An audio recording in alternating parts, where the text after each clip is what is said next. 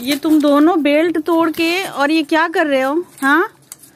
और सुन, इधर देख इधर देख उसको भी इधर देख। तू अपने सब्सक्राइबर्स को बोल तो तेरे लिए बेल्ट लिया है?